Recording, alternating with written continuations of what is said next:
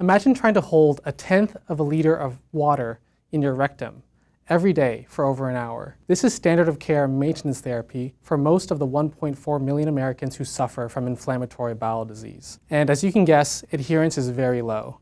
This lack of adherence can lead to disease progression, over 100,000 hospitalizations per year, and in some cases, if unchecked, complete removal of the colon in some patients.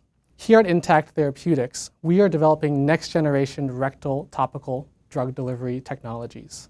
Our first product is a thermoreversible drug formulation which is delivered as water at room temperature, allowing for extensive coverage of the rectum and distal colon.